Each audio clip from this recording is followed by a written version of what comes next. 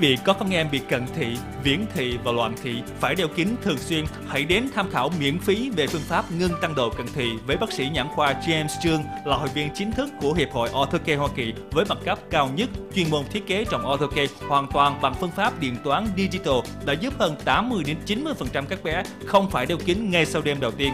Hãy đến website bác sĩ mắt.com để xem thêm hàng trăm chi tiết về phương pháp Orthocare và các bệnh lý về mắt tham khảo miễn phí xin gọi 714 418 9607.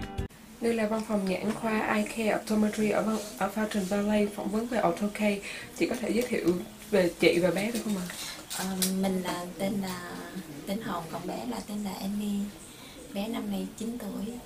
Dạ. Trước khi chương trình AutoK thì chị có mối quan tâm lo lắng gì không ha?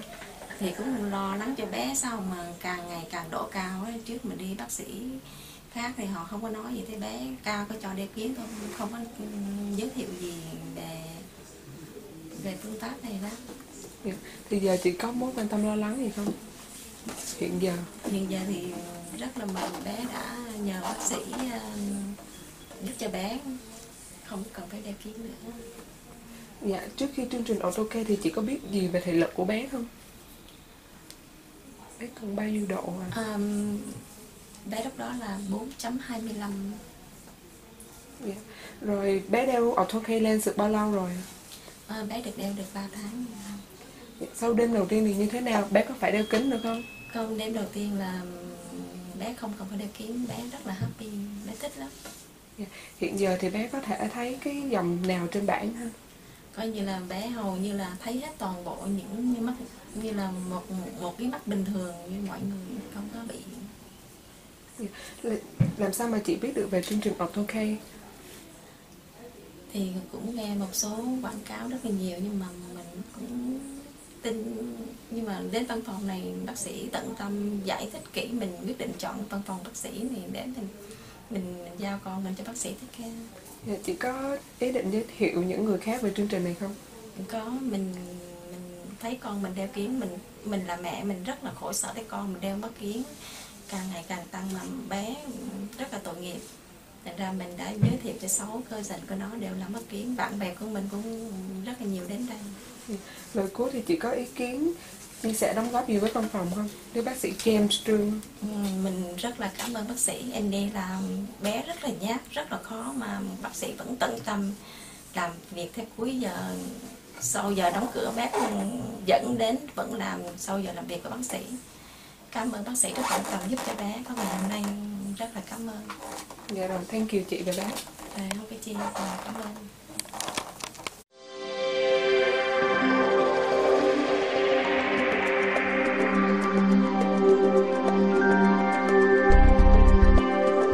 Đây là văn phòng iCare Optometry ở Fountain Valley phỏng vấn về AutoK. Chị có thể giới thiệu về gia đình và bé được không ạ? Dạ, um, tôi tên là Phương Nguyễn and uh, đây là Jessica Hồ, uh, 9 tuổi, đứa con gái út là em Hồ. Dạ. Trước khi làm AutoCare thì chị có mối quan tâm lo lắng gì không ạ? Um, trước khi vào uh, để khám mắt với bác sĩ thì um, Jessica Hồ đi học là nhìn xa không được.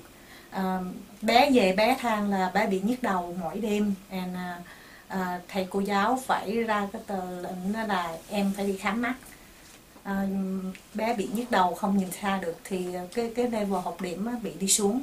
Cho nên tôi rất là quan tâm. Hiện giờ thì chị còn quan tâm lo lắng gì không? À, bây giờ thì hết rồi. Trong vòng có à, hôm nay đúng là một năm bé mang Odoke à, khi đến với bác sĩ Trương. À, bác sĩ rất là tận tình giúp cho à, à, Jessica Hồ. À, bây giờ bé lại zero độ. À, bây giờ bé không có um, cái gì để worry cho bé hết bé rất là khỏe yeah. Dạ. thì chị có biết gì về thị lực của bé trước khi chương trình OK không? À, trước khi bé vào đây khám mắt uh, mang OK với bác sĩ Trương á, thì uh, bé là 2 độ với 2 độ 25 à.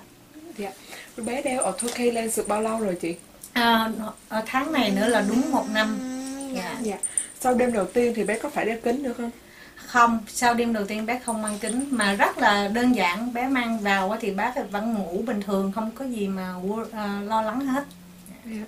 thì hiện giờ thì bé thấy được dòng nào trên bảng ha dạ bây giờ bác bé nhìn xa bình thường à, không có um, cái gì mà ảnh hưởng tới bé hết dạ ok thì ờ, làm sao chị biết về chương trình AutoK ở văn phòng À, gia đình của chúng tôi đọc à, quảng cáo của bác sĩ Trương ở trên à, báo Người Việt. Dạ.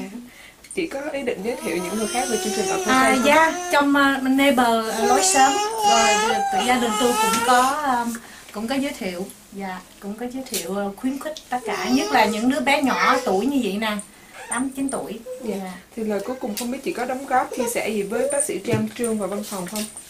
À, à, theo tôi thì thấy là bà OK do bác sĩ Trương à, giúp cho bé rất là nhiều. À, à, thứ nhất là con của của tôi là Jessica Hồ á, là không còn lên độ nữa. Cái đó là mối quan tâm à, lớn nhất của trong gia đình chúng tôi.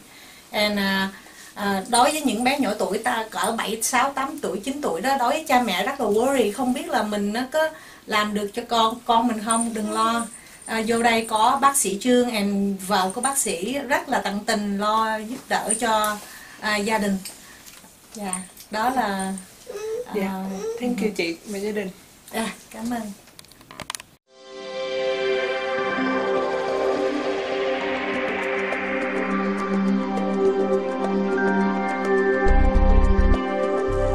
đây là một buổi phỏng vấn về chương trình AutoK của văn phòng nhãn khoa iCare.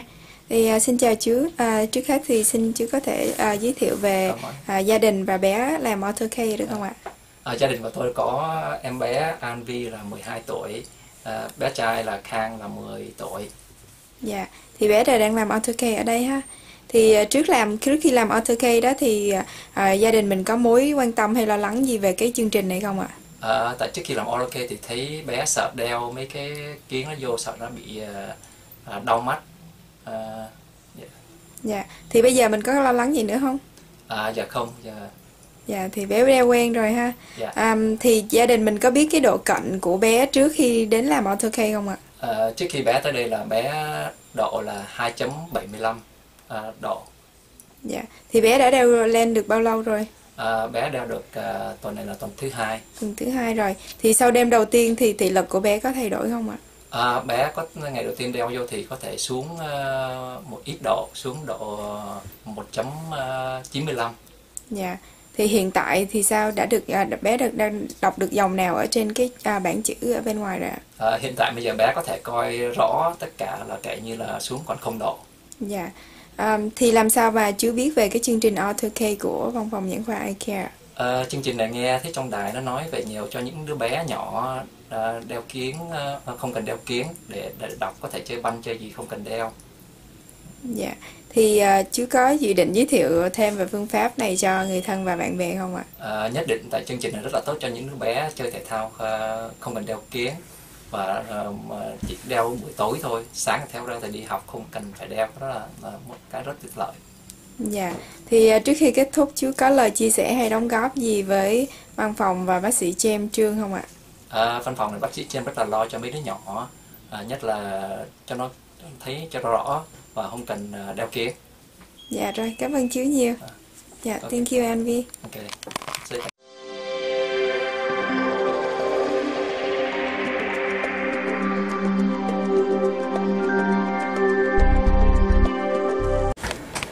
Hi, what's your name? Kim Hui.